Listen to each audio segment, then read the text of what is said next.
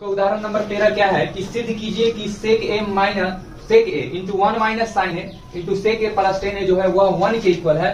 तो बड़ा चीज़ को छोटा करना आसान होता है, इसलिए हम लोग बड़ा टर्म उठाते हैं एलएचएस को उठा लेते हैं और लिख देते हैं sec A into one minus sine A into sec A plus tan A कितना आसान टर्म है, हम लोग सबसे पहला काम करते हैं, जो भी टर्म है उसको साइन कॉस में कन्वर्ट करने की कोशिश करते हैं।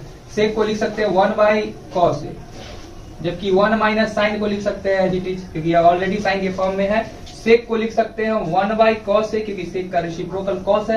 प्लस टेन को लिख सकते हैं sine A by cos A one by cos A into one minus sine A LCM देता है यहाँ से cos A cos A cos A का एलसीएम कॉस ए देता है। कॉस ए के टेबल में कॉस ए वन टाइम यहाँ से आ गया वन प्लस यहाँ से आ जाता है साइन ए अगर तुम लोग थोड़ा ध्यान से देखो तो दिख रहा है A plus B into A minus B formula होता है A square minus B square by cos A into cos A cos square A one का स्क्वायर वन ही आ जाता है और one minus sine square theta formula होता है कॉस स्क्वायर थीटा तो cos square A by cos square A cancel होके देता है वन, और इस प्रकार वन आया आर एच एस ठीक है? तो लिख सकते हैं हम लोग आता।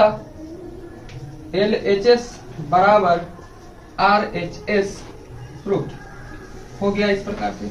चलो इसको कर लो नोट